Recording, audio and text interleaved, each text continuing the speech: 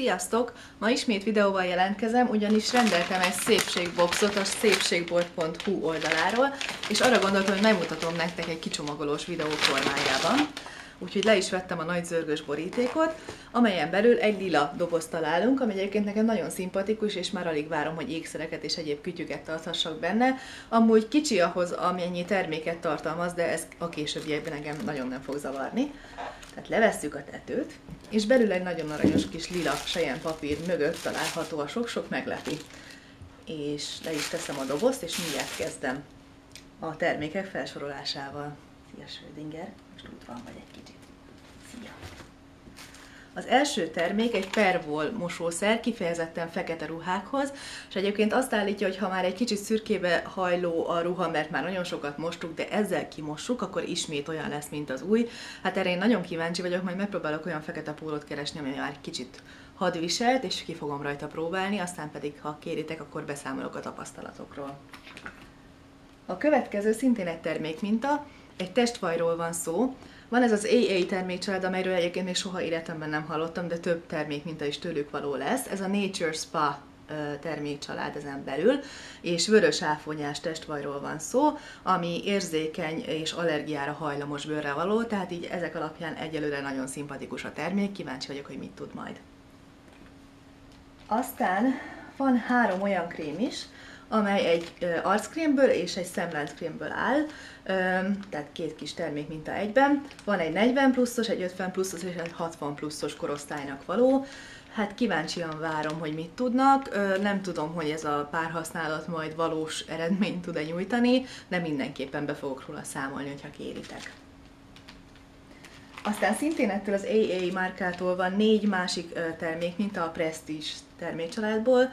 Van egy elixír, egy éjszakai krém, egy 50 pluszos és egy 60 pluszos, és az utóbbi kettő egyébként fényvédőt is tartalmaz. Kíváncsi vagyok ezekre is. Az ezt követő termék szintén egy minta, de nekem nagyon tetszik, hogy ennek ellenére kis tubusban van. Nagyon tetszik a felülete is, hogy ilyen mat jellegű. 20 ml terméket kapunk, és holtengeri vizet tartalmaz állítása szerint. És az illata Egyáltalán nem olyan, mint az Avon Hol tengeri kézkrémje, ami friss és kicsit férfias illatba hajló, hanem púderes, tipikus tisztaság illata van, de az a jó fajta, tehát nagyon várom a használatát, eddig nagyon szimpatikus. Az ezt követő termék egy Helia D arctisztító kendőcsomag, azt hiszem 10 darabot tartalmaz, Tudtommal a Helia D egy magyar termék, ezen ennek ellenére németül van rajta, és a magyar csak matricázva, szóval, hogyha van valami infótok, akkor ezt legyetek szívesek velem közölni. Gyerekkorom óta ismerem egyébként a márkát, konkrétan ilyen arctisztító kendőm már volt is, és nagyon-nagyon szerettem.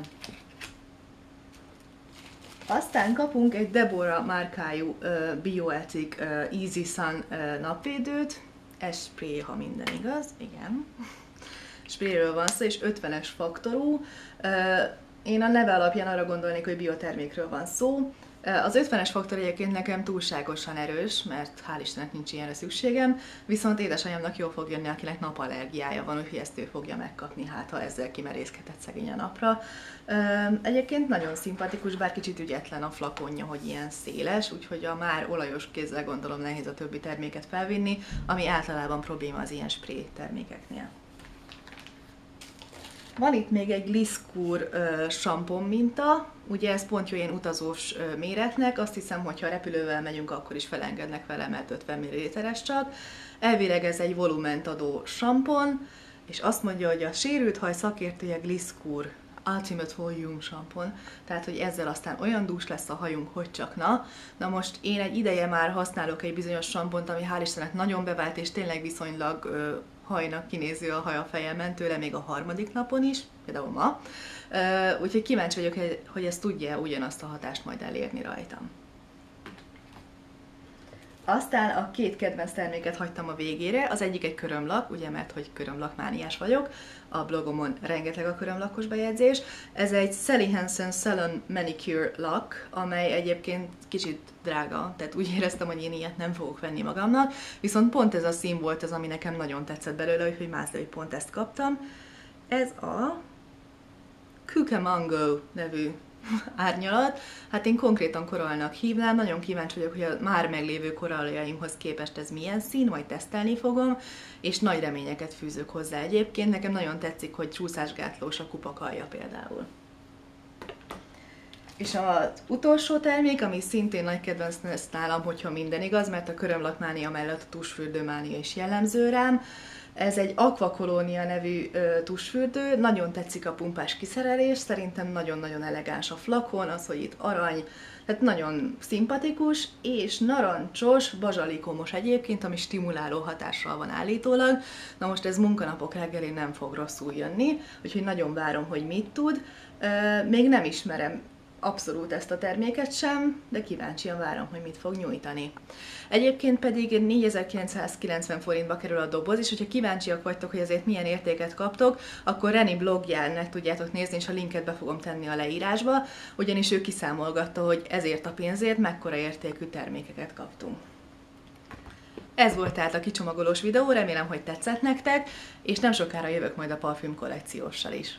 Sziasztok!